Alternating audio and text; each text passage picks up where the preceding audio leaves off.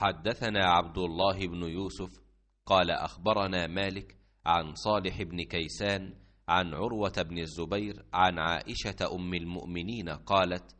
فرض الله الصلاة حين فرضها ركعتين ركعتين في الحضر والسفر فأقرت صلاة السفر وزيد في صلاة الحضر.